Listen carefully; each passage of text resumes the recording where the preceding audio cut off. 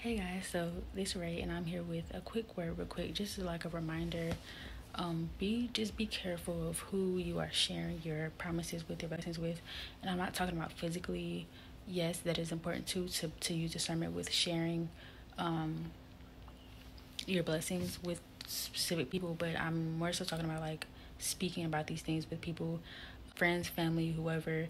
Not that everyone is going to have bad intentions or not that everyone's going to try to like um, find stuff out and then be manipulative or conniving things like that. But just in general like when you're speaking about things pertaining to the kingdom and your promises and things like that not everybody's going to understand it. Not everybody even knows what what it is like they're not even going to understand it. They're going to be able to really comprehend it. So their perspective isn't going to be the same as the things that you know or things that you understand about Basically, you. they could be coming with with still an earthly perspective earthly view um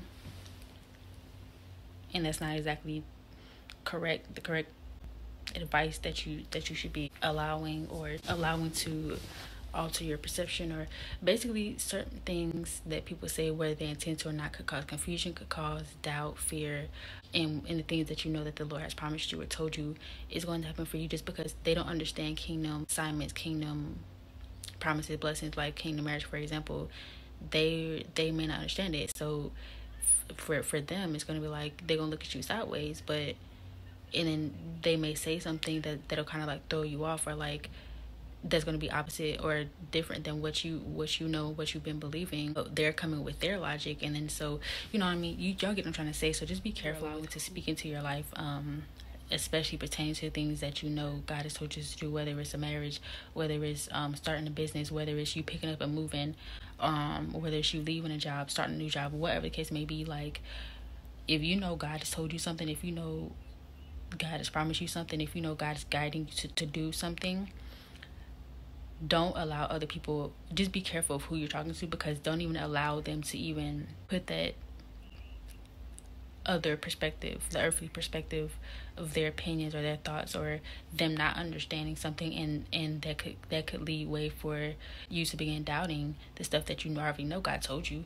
So just be careful um this happened to me like last week, I think, or maybe the week before that. But so I just want to put that out there for y'all, just as, as a reminder to be careful of who you're sharing your promises with, and just just understand that everybody's not going to understand.